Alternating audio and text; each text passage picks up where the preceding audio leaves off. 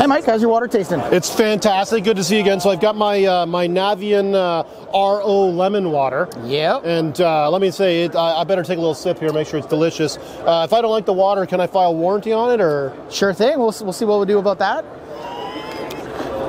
The lights are going off at Navien Corporate? What are you guys talking about the Navien booth? So we got a whole bunch of new new products here to display. Uh, first off is that RO water. So this will be coming out in a couple months. That's cool. Uh, with that, the great feature here is we eliminated the tanks. So this is a tankless RO system. You can easily plumb that in right underneath your fixtures, right underneath your faucets. Uh, it does need power to it. So one of the differences to this versus a lot of other units on the market is there is actually a small pump in there. So we're forcing that water through there.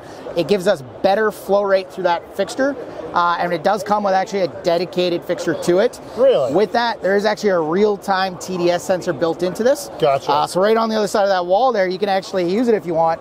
What happens is if you pull it forward, it gives you RO water. If you push this back, it just gives you filtered water. And So I just RO. realized I thought you were a tech guy. You're hitting me with a sales pitch. You're giving me the Navien RO water. It's literally coming from the new tankless RO Let- technology. Let's make sure you're drinking some of the best water out there. Yeah, this is the tastiest everything. I endorse this Navien water as long as I'm in this booth.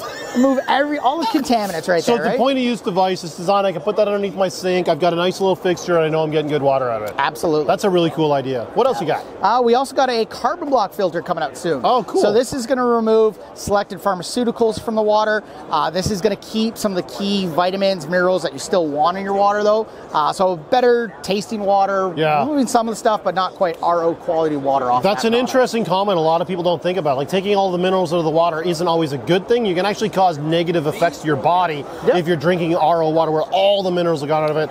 I'm not a chemist, but I've had people warn me about it. so. Absolutely. I know a couple people that, that have RO water. They, they swear on just drinking RO water, but they make sure they're still taking their vitamins. and Yeah, exactly, exactly. Awesome. And what else we got? Uh, we also got over here, we got something called a WEC. Okay, well let's wander right. around this way and see if we can have a look at it. Yeah. Uh, so this will be coming out in just a couple of months. Yep. Um, this is a substitute to using a water softener. This is basically giving you almost RO quality water for your entire house. Gotcha. Uh, with that, there is a pre-filter that gets installed before that, so that if you are in an area such as yourself, Cambridge, Yeah, Kitchener, yeah. Guelph, uh, we want to make sure that that TDS is not way too hard coming through there. Uh, but with that, we're using electric membranes within this product that are negatively and positively charged. So as the water flows through there, all the contaminants will actually stick to that. Uh, there's some TDS sensors built into that as well. So once it sees that one of those tanks is kind of starting to fill up with contaminants, it'll actually start switch using the other tank, and then it goes back and forth while you're using water. And so, from a serviceability standpoint, do I need to replace the media? What do I need to do this unit down the road? So with that, great question. This top tank that you'll see there needs to be kept filled with a 50% citric acid, 50% Gotcha. water solution.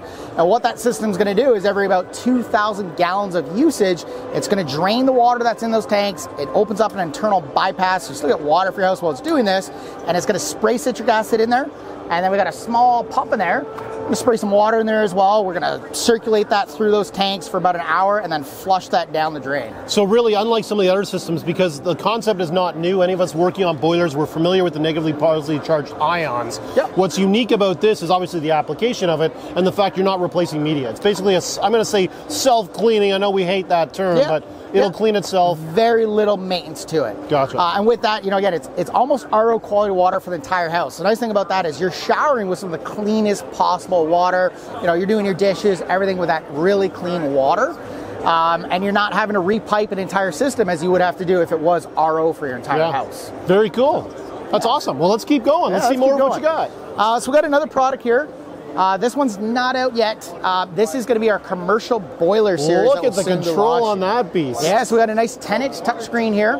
Uh, with this product, when it does come out, it's going to be available in four sizes. Uh, we're going to have a 500, a 600, an 800, and a 1 million BTU boiler. Uh, and that's going to be capable of running four circulators right off that system.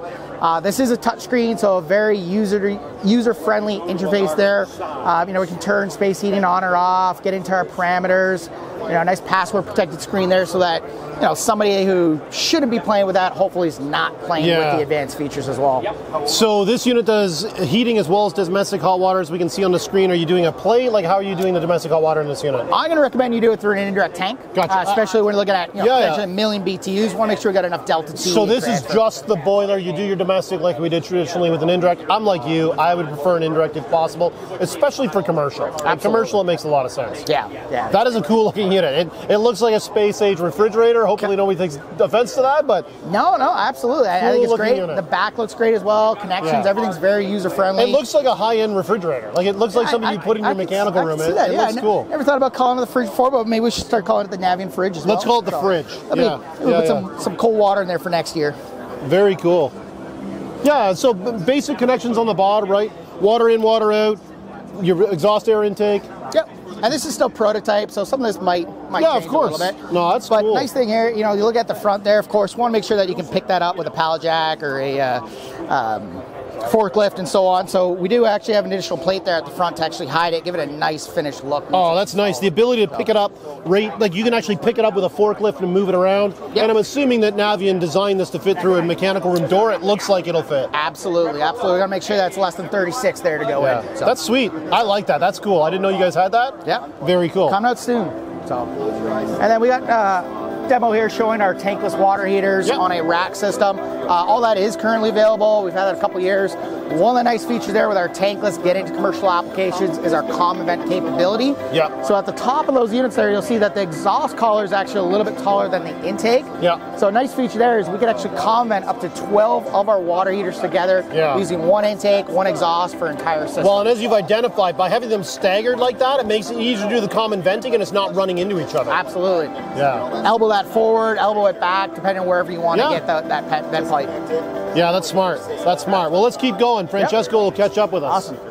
Yeah, we got a great uh, back Yeah. booth here, so nice graphic there. I like when manufacturers take the time to do a nice big backlit graphic. It really lets you see all of the offerings and you can find it in the booth. Absolutely. And on the other side of this, we actually have a giant screen that we'll show you in a couple minutes. Are we going to be on that screen?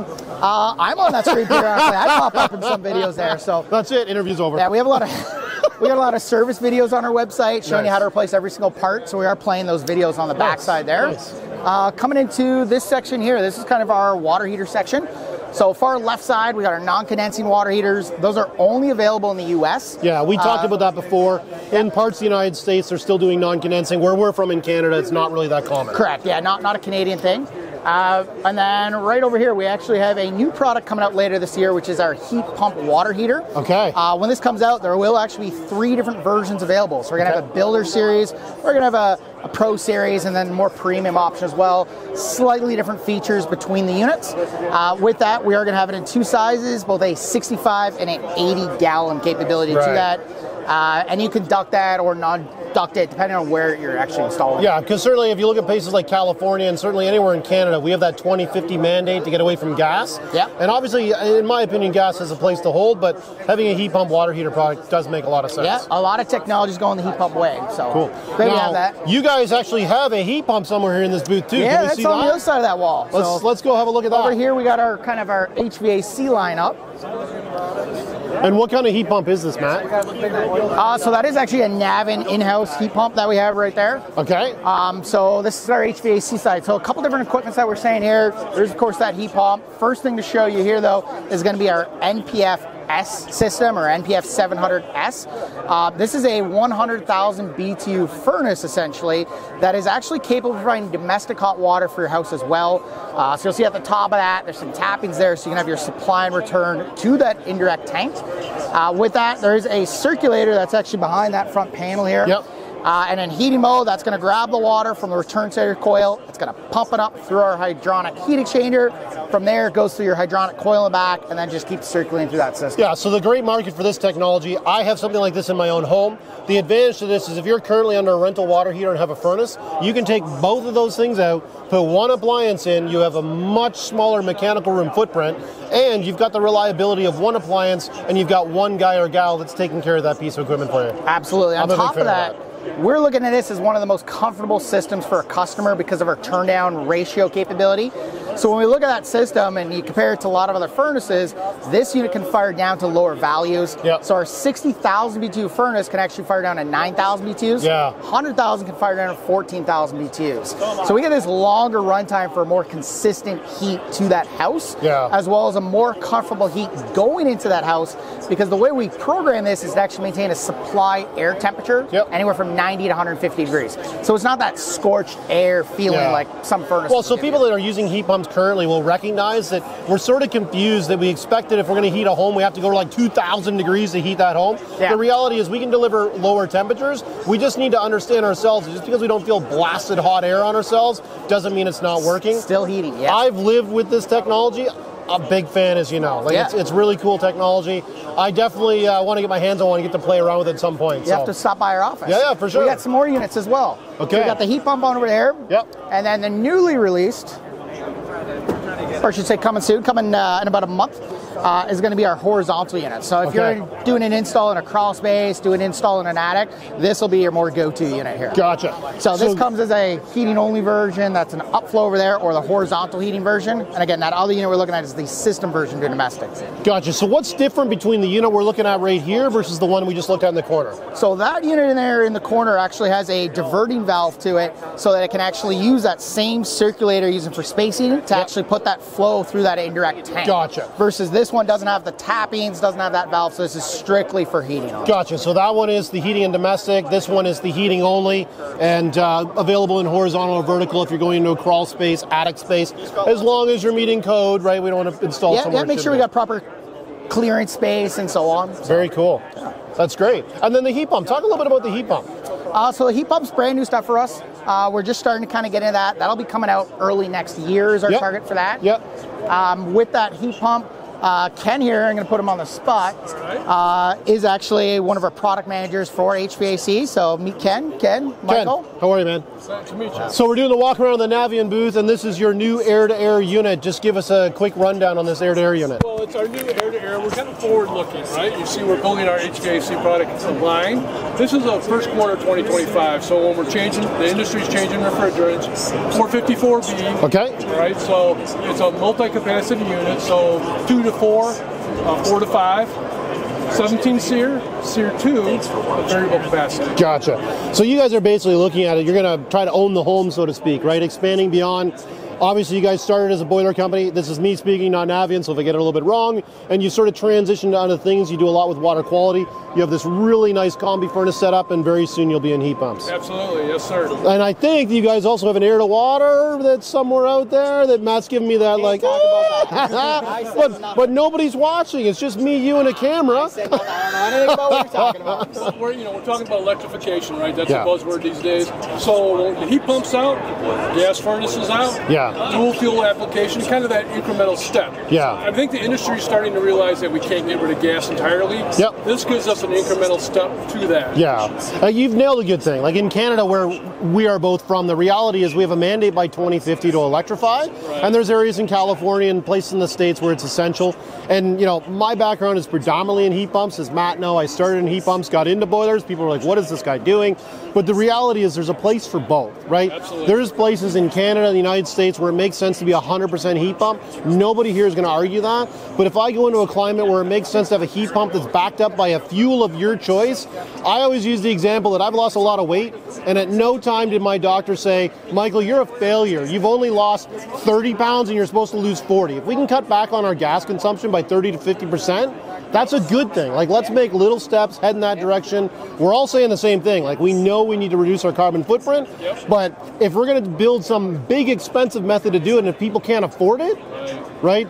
A solution like this, if it's cost effective and it reduces the gas consumption, that's as good as a heat pump. It's as good as a ground source. There's lots of options. Absolutely. So, Ken, thanks for coming on camera, man. Oh, nice to meet you. And Matt, what a pleasure, my friend, to do it again. Thanks for we'll see you again. Some uh, Navien water. Yeah, well, the Navien water was absolutely delicious. There'll be no RMA or warranty requirements this time. When I come by the live fire lab at your place so we can actually do some piping, I expect some Navien lemon water every single time. We'll do it. Set it up. Awesome, brother. Thanks.